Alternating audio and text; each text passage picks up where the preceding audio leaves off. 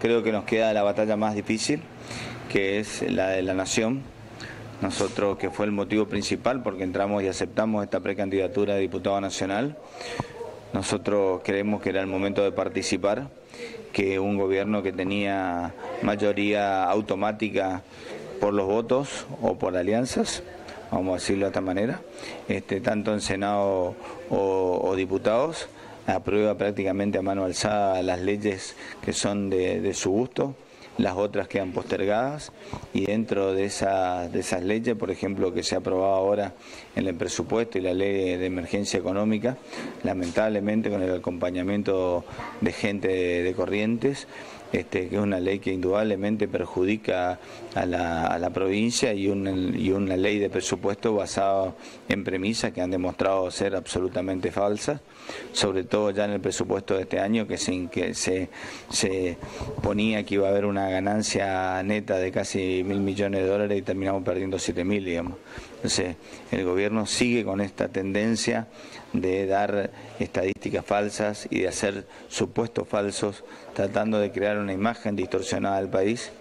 Y yo que espero que después del 27 de octubre, con una nueva composición de, de las cámaras, el gobierno tenga que reflexionar sobre estas prácticas, que las leyes tengan que salir con un consenso, porque nosotros no vamos a impedir ninguna acción que tenga para beneficio a la Argentina y a la provincia. Vamos a acompañar lo que sea necesario, pero nos vamos también a oponer firmemente a que se siga engañando de alguna manera a la población con estadísticas falsas, con mentiras falsas, con presupuestos falsos. Nosotros queremos un país en serio, queremos un país normal, queremos un país de, verdad, donde le toque gobernar al Frente para la Victoria, que fue elegido para estar ahí hasta hasta el 2015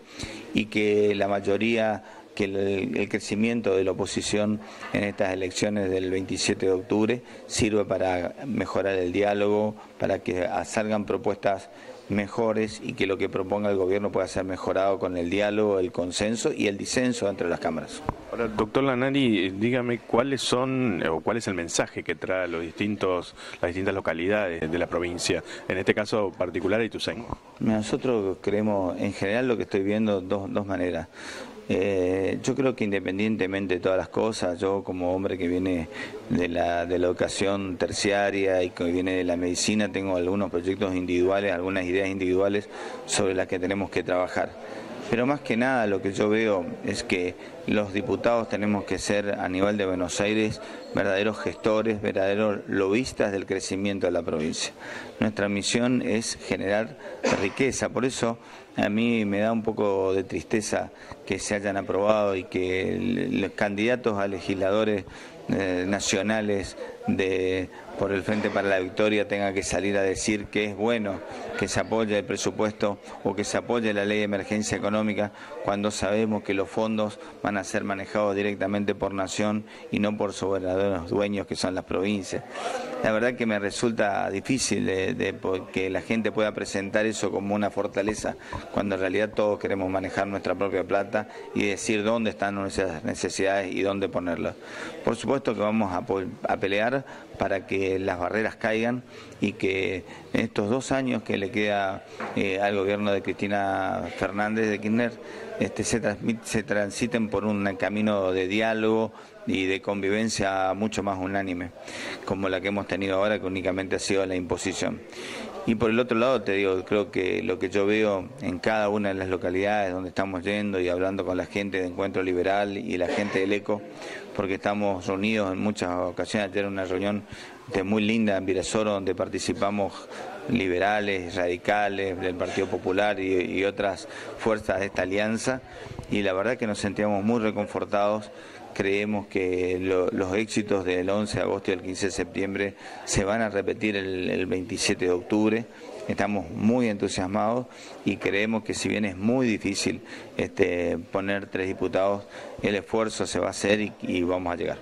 ¿Qué temas ha hablado aquí con los correligionarios de Ituzaingó, temas que, que son importantes también para la localidad? Nosotros lo que hemos hablado particularmente es del parque industrial, que sé que se está por trabajar en eso. Estamos hablando del, turismo y cómo incrementarlo, que creo una fuente de ingreso fundamental. Y también estamos hablando de eh, los residuos de la madera y cómo la industria forestal nuestra, la relacionada la industria forestal nuestra, que es todo el tema maderero, construcción de vivienda, este, la utilización para, para pellets y briquetas, que vendría a ser la generación de energía,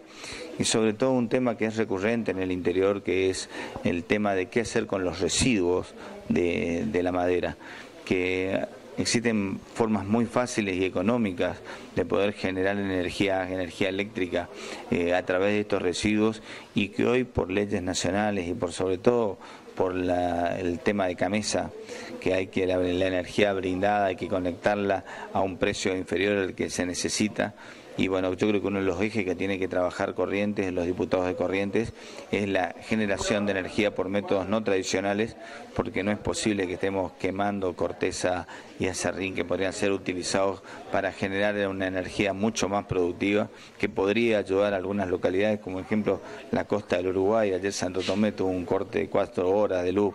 y todo eso se podía hacer solucionado con usinas generadas por residuos de la madera. Así que eso habrá que trabajar para que se faciliten o caigan las barreras a nivel nacional que, que impidan el crecimiento y el desarrollo de estas potencialidades energéticas.